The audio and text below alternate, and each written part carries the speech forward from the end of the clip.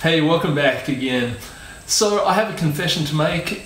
Um, it's difficult, but when I first knew about essential oils, I thought that was some woo woo new age hippie thing. And then more recently, I thought this is just another trend that's kind of going through chemist shops and department stores.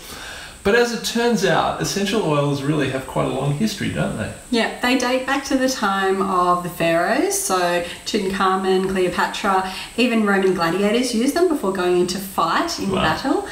The Chinese and Indians have incorporated them into incense sticks and, and just general practices, and even the Greeks have used essential oils. Okay, so are these like the, the same sort of essential oils that we have today?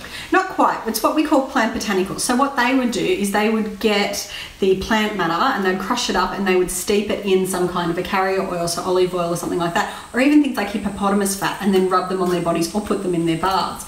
It wasn't until Avicenna invented the condenser that we were actually able to steam distill essential oils. Okay, and aromatherapy as we know, it, when did that start? So that wasn't until about the 1930s when a man called Rene Gattefosse actually had his own experience using lavender oil and then he went on to research a lot of the benefits and being French he coined the term aromatherapy um, which are the two Oh. words coming together the aroma and the therapy.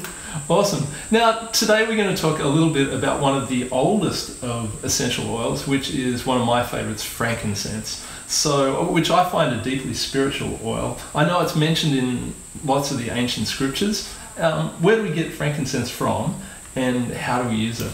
So frankincense trees are grown in the Middle East. It's the only place where they grow, a- and for a couple of reasons. One is the soils are really like you know they love that dry, arid soils of the Middle East. But the other reason is that that's where they come from, and the Middle Eastern countries are so protective of their frankincense trees because they bring a lot of money, and they're some of these trees are you know hundreds of years old. So that's why they want to maintain the trees.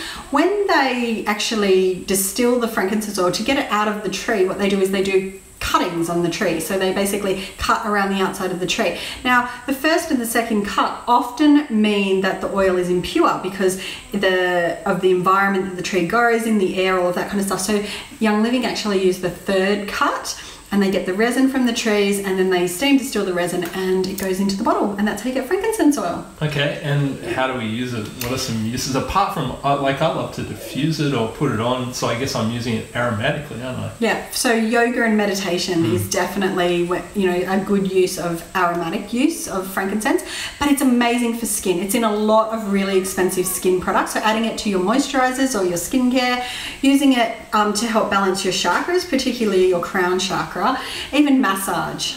Awesome. So, coming up in our next session, we're going to start talking about essential oil blends, which is a whole other kind of thing. And we're talking about PanAway, which is a really useful essential oil blend. So, we'll see you then. See you guys.